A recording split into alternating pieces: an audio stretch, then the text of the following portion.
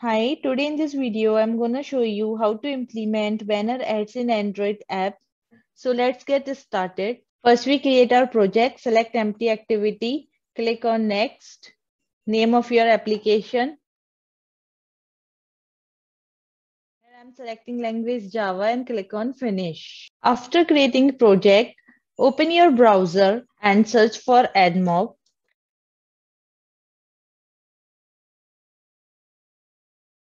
Click on sign in AdMob. So here you have to log in with your Gmail ID. Now click on get started. Now we have to set up an app. Choose platform as Android.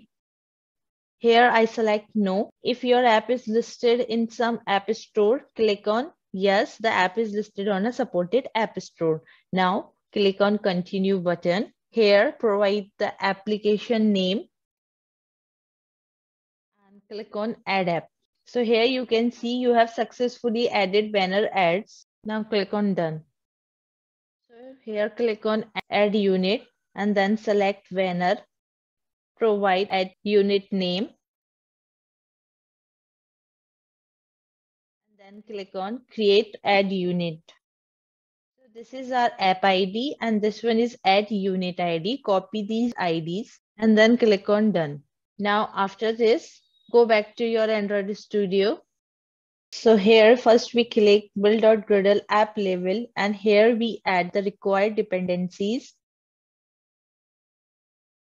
I'll provide this dependency in description box. Here click on sync now. Now open manifest file and here we add internet permission. Now we will add our AdMob app ID to the manifest file here we use metadata tag to add the app ID inside the application.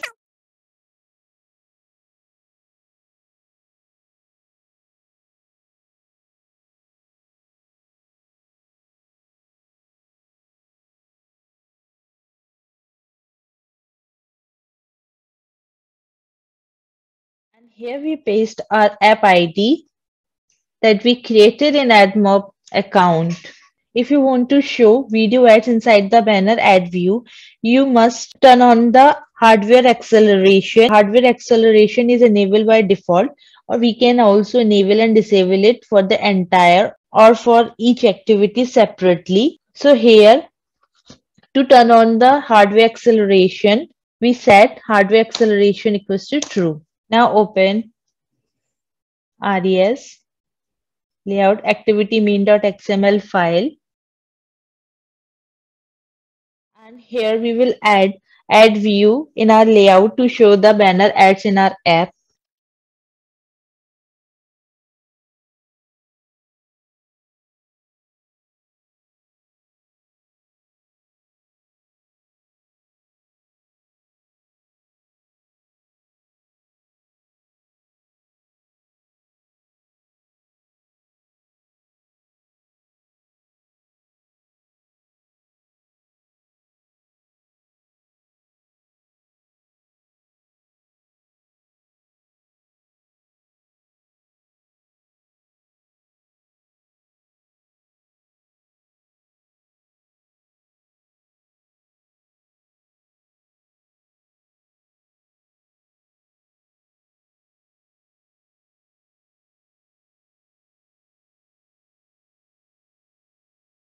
Here we paste our ad unit ID that we have created in AdMob.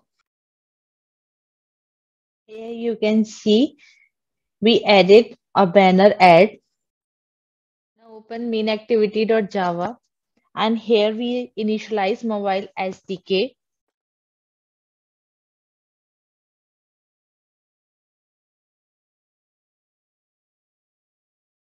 When initialization is completed, I'll show a toast message.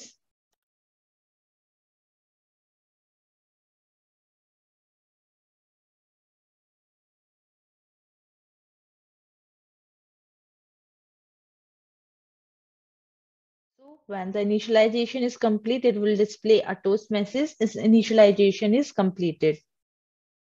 So here we create ad view object.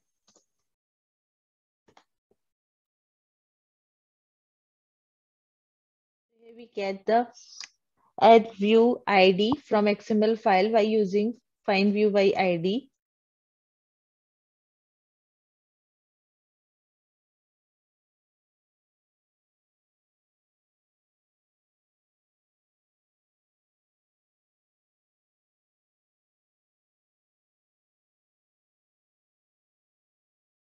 here this load ad method load and add and this ad request method holds runtime information about a single ad request. So now run the project. Here you can see the banner ad. Thank you for watching my video. Please like and subscribe my channel and share your feedback in comment section. Thank you.